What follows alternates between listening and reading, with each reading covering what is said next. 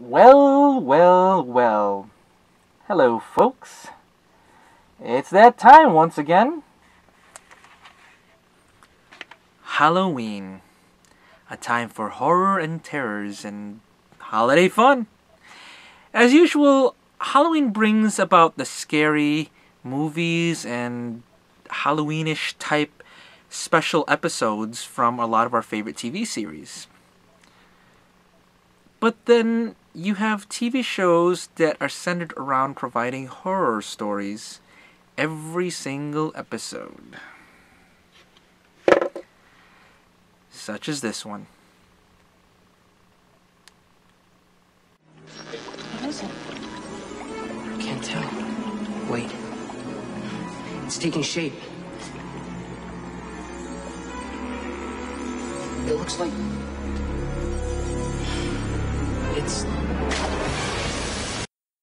On October 30th, 1990, The Tale of the Twisted Claw became the first official aired episode of this unique kids horror show on Canada's YTV network. This featured an opening that differed from the one we all know and love and would appear on its debut in the US two years later.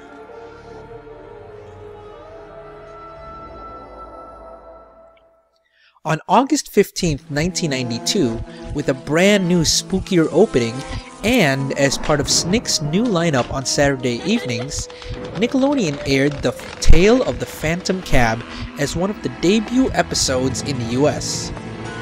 This began the popular and beloved show Are You Afraid of the Dark?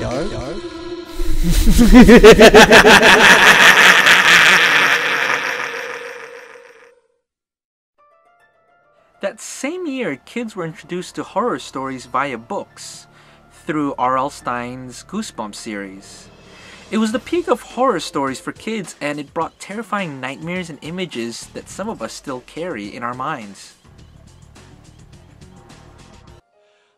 What types of stories did they have? Stories about those who saw dead people who didn't know they were dead years before M. Night Shyamalan's twist ending in The Sixth Sense? Stories about frightening clowns, or lessons about being careful what you wish for? Many of these stories were taken from public domain fairy tales, short stories, and even urban legends. Most of these stories had happy endings, or at least a happy ending for the main characters. Once in a while, the story would end with a tragic ending for the main character, thus leaving us with a sense of dread about what would happen if it happened to you or me. Now, the formula for the show was simple.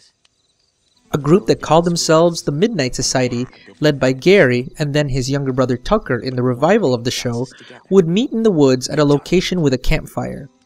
Now, this location was secret, so usually when there's a new member that joined, they would wear some sort of mask or blindfold before they would be initiated into the group. Here, they would tell stories of fright and terror, especially based on their fears. Each storyteller would begin by saying the magical words Submitted for the approval of the Midnight Society. I call this story. Submitted for the approval of the Midnight Society. I call this story. Submitted for the approval of the Midnight Society. I call this story. Submitted for the approval of the Midnight Society. I call this story. Sometimes the stories would tie in with any drama among the Midnight Society members, such as when Gary asked Sam out in The Tale of the Night Shift, or when Tucker steals a poem written by Gary in The Tale of the Crimson Clown.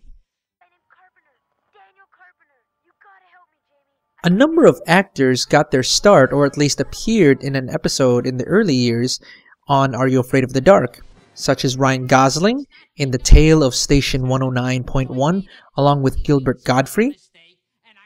Jewel Staite of Firefly fame appeared in The Tale of the Watcher's Woods and The Tale of the Unfinished Painting.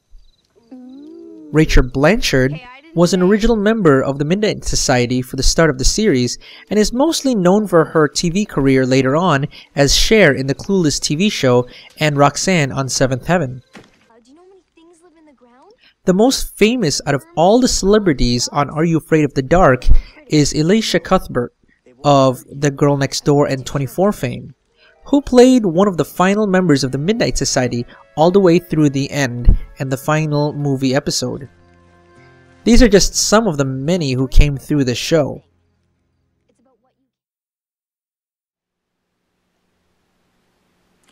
Looking back on a lot of the episodes, you can see a lot of them were fairly well done for a kids show. Yet they lack some of the production values that would seem apparent in today's standards. As a matter of fact, the production values on the show haven't aged too well. However, the style and the stories in the show seem to be timeless and still hold up today. A lot of the characters are still fresh in our minds. Anyone remember um, Dr. Vink or Mr. Sardo? Oh, sorry. Said that wrong. That's uh it's Sardo, no Mr. Accent on the dough. It's Sardo. No Mr. Accent on the dough. That's Sardo. No Mr accent on the dough. Sardo. That's Sardo, accent on the dough. That's Sardo. No, mister.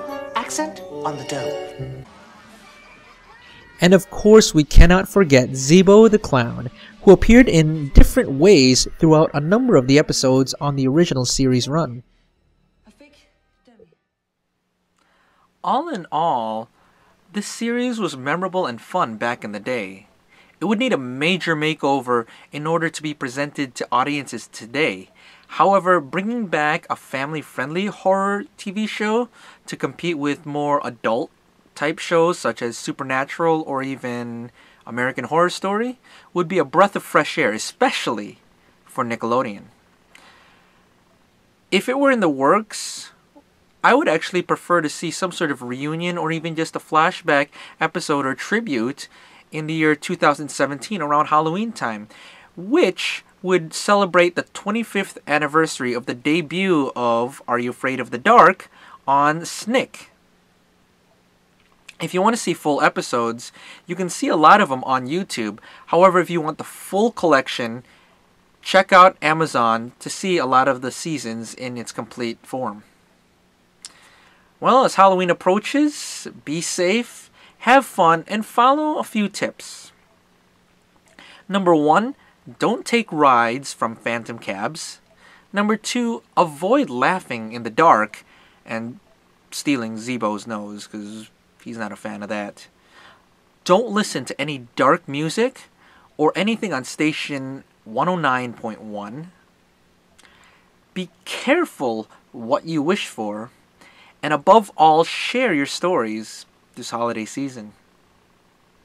Well, this is Mr. TV saying, see you next time. Or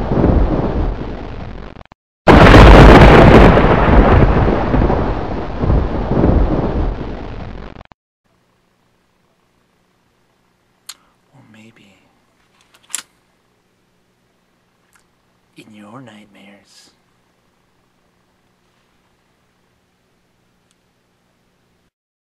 I declare this meeting of the Midnight Society closed. Until next time, pleasant dreams, everyone.